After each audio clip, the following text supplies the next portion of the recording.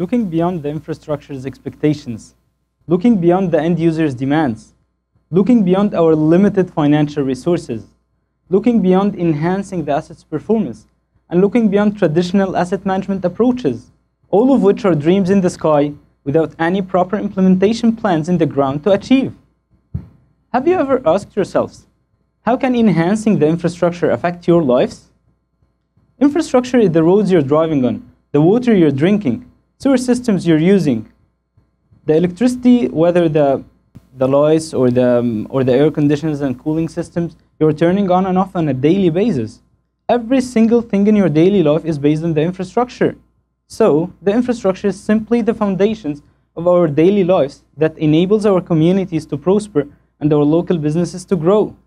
The relationship between the infrastructure development and the country's economic growth is simply like a permanently married couple who can never get divorced. Think it over. Let's imagine together.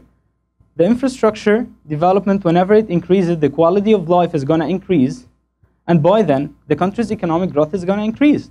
So in that context, Finance Canada has showed a study that 1 billion investment in the infrastructure development is going to create 16,700 jobs. So can you imagine that 1 billion investment is going to create 16,700 jobs? And you can be one of these guys working for this infrastructure development. Not only that, but it also boosts the country's GDP by $1.6 billion, which is a great investment. It also attracts the foreign investors to come and invest in our country because of the solid and stable infrastructure system that's already in the country and opens up new companies that already you can be working in.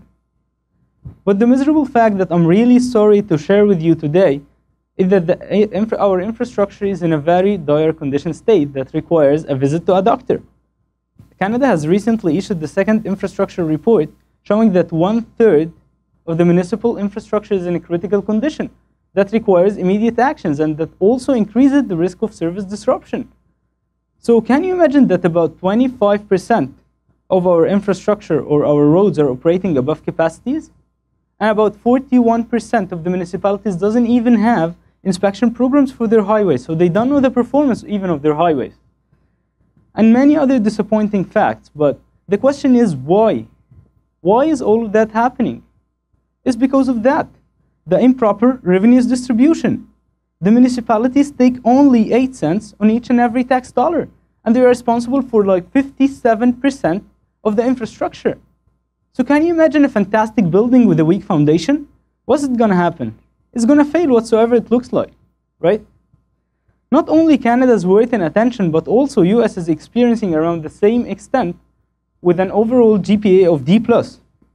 So about 69% of the infrastructure in US is in a poor condition, and the drinking water, representing one of the most crucial assets, is a D, approaching a failing condition with a perceptually declining level of service. And all of these information are in 2013. So guess what's happening right now in 2016? But the question that all of you are asking right now yourselves is, why should we bother ourselves with those stretched facts? What's, what happened and caused these critical factors to happen? It's all about wrong decisions. Wrong decisions that we have already taken in managing their, these kind of assets. Our grandfathers were like mistaken in managing these assets and it caused growing budget deficits, a delayed backlog of repair and construction for this kind of infrastructure that hurts each and every Canadian family and business. So for, for years and years, the government have been managing their assets in a new philosophy of design, build, and forget. Forget about the infrastructure, just pay less attention to the service life, which is considered to be one of the most important factors in the infrastructure world. For 25 years, the government has have been watching the symptoms of the infrastructure deficit growing and growing through rusting bridges, crumbling roads, thousands of drinking water warnings, and nothing happened. But the result was a chronic municipal infrastructure funding crunch that has been estimated to be $123 billion. Can you imagine the number? Just $123 billion for repairing the existing infrastructure. And another $115 billion for just building new ones to account for the growing population. Not only that is the result of the growing infrastructure deficit, but also our aging infrastructure. So according to a study that has been done by Dr. Mirza in McGill, about 60% of our infrastructure are over 55 years. And even more and more, 30% are over 55, 85 years. And the final cut was that 80% of our infrastructure have already exhausted their service life. The aging infrastructure smell is beginning to spread over and over, resulting in catastrophic failures, just like what happened right here in the Le Concorde overpass. So this overpass on a Saturday afternoon, 30th of September 2006, it failed, crushing a number of vehicles beneath and resulting in a number of injuries and valuable life losses. So what are we waiting for? It's not now an issue of aging infrastructure or growing budget deficits as much as it's concerned with our safety and health, which should stay the top priorities of the government. Nowadays, the federal government is trying to push more and more money towards the municipalities as a new municipal funding programs to aid them to support this infrastructure. But the question is, do you think this is sufficient to solve the problems efficiently and rapidly? The answer is absolutely no, because the current infrastructure gap is way more what the governmental financial resources could afford to, which creates the need for the private sector or for another extra funding source to come and interact to fill this vastly growing gap.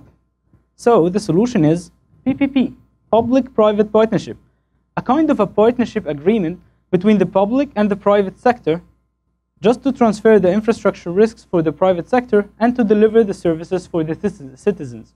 So in simple words, it's a trade-off for the government.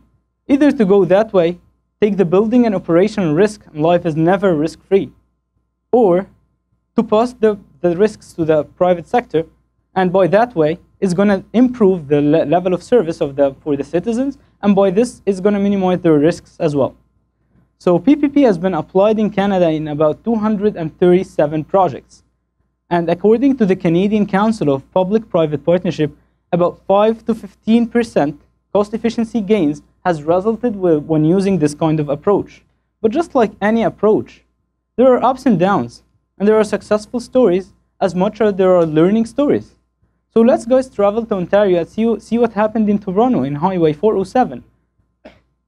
This highway was built in 1997, 107.3 kilometer tall highway, and has been privately leased for 99 years. Can you imagine the number? 99 years lease for the private sector. What was special in this highway was the toll collection system. We were all used that the tolls are collected through toll booths. But in this specific highway, the tolls were collected through an automated system of cameras and transponders, where they have to detect your plate in order to pay uh, your fees. This created a source of a criticism for the privatization of this kind of highway. And because of the increasing tolls, of course, and because of the plate denial system that has been introduced by the public to support the private in collecting his bills, and because of the false values that already resulted in various court battles. So can you imagine, guys, paying $43,000 just for driving in a highway? I swear it's even more than what I'm paying for my PhD, guys. Yeah, so the government goodwill and poor contract administration is what led to these undesirable circumstances. Yes, the government should understand the fundamental difference between the public and the private sector. The private sector is simply a greedy, profit-oriented organizations opting for more and more profit whatsoever. So the government should be smart and they should be they should place a kind of a key performance indicators to measure the performance of the public se private sector. And at the same time, they should place limits for the tolls because because especially in this user-based income where the private is like taking the money from us directly. Let's leave this example and travel back to Quebec in Montreal in New Champlain Bridge and see what's hap what happened out there. New Champlain Bridge connects Montreal with the South Shore, so it's a new project that has been introduced to PPP and is under construction right now. So it le it's leased for 30 years operation and maintenance for this kind of bridge for the private sector. So the government now learned from the first lesson, no more 99 years. The second lesson is that the government is responsible for specifying the toll rates, not the private sector. The private sector only collects them, and the private sector receives his money directly from the government, like he's taking a monthly payment in return to, for operating and maintaining this kind of bridge. The result was what?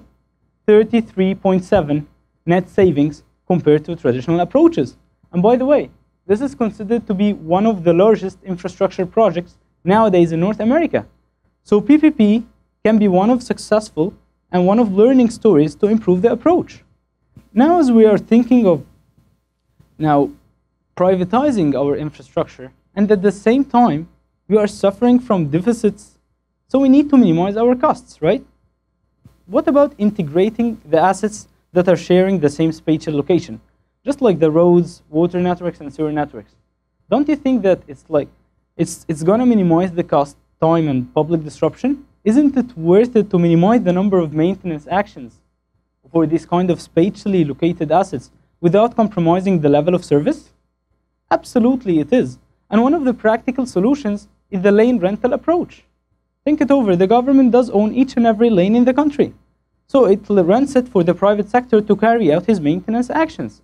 And by this, it indirectly obligates the private sector to minimize his time, his intervention time. And at the, at the same time, he's going to maintain more efficient and effective solutions for the maintenance, not to pay more and more renting. Wearing the creative hat, I thought of why don't we amalgamate the two solutions together and think of a kind of a contract that at the same time obligates the private sector to utilize this integrated approach and maximize the level of service of our infrastructure. So why don't we be friends? Let's be friends approach. The name tells the story. A group of private companies that are grouped and create a joint venture, a new company that has a contract with like the public government and from this perspective, they're going to be responsible for a certain road with all the underneath utilities. So Let's imagine it, how, how it's going to benefit the public sector. From a governmental perspective, this is going to be better because it's going to create an extra cooperation between the municipalities, right? Because they are, they are going to have to draft the contract together and they're going to have to work it out together because they are already one party for the private sector. At the same time, it's going to cause less intensive contract administration and management. Imagine, imagine managing just one contract instead of three contracts. It's going to be way, way easier. So from the private sector perspective, the synergy spirit of the three privately owned companies towards maximizing their profit and minimizing their cost is going to result in a more and more creative solutions that minimizes the cost and enhance the level of service. So everyone is happy right now. The public citizens are going to be happy receiving a better level of service. The public is happy with the minimized cost, and because of the citizens are happy, and the private sector is happy with his money in the pocket. Finally, I would like to highlight an, an important infrastructure statement. A penny now is worth a dollar later. Think about the infrastructure defect as a human being suffering from a brain tumor. The earlier you detect it and intervene, the more probably you're going to save a life. And the same goes with the infrastructure. Think of a water pipe with a tiny crack. In case of delayed maintenance, what's going to happen? The crack is going to propagate and the pipe is going to break right? Which is, of course, undesirable, specifically in a water main pipe in a critical street section. So from a pure cost perspective, this is how it goes. Paying like $1 early is going to save 6 to $10 late. And this is the area that I was talking about, wrong decisions. The wrong decisions comes exactly in this area, the, now, the difference between the now and the delayed maintenance. This is where the asset managers take wrong decisions. So finally, if I will, I would like to leave you with one final thing, is that the cost of inaction in the infrastructure world could reach tens of trillions of dollars. And who's going to pay for that? It's simply us, our grandchildren and their successors, as we are already paying because of the wrong decisions taken by our grandfathers. So please, please, promise me, we don't need to repeat the same mistakes twice, and we need to think it over before the game is over. Thank you.